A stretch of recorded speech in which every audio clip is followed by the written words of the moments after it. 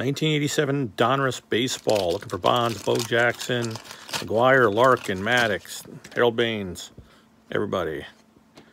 All right, we got Frank DiPino. You got Moose Haas, Rey Quinones. You got Wally Joyner. You got a Roger Clemens, nicely centered there. Way to go, quality control. Steve Jeltz. You got Hal McRae. Mark Ryal. You got Dale Murphy, should be in the Hall of Fame. Fuck Harold Baines. You got Rick Rhoden. Jeff Musselman. Joaquin Andujar. Mike Bielecki. Buddy Biancalana. And we end with Dwayne Henry.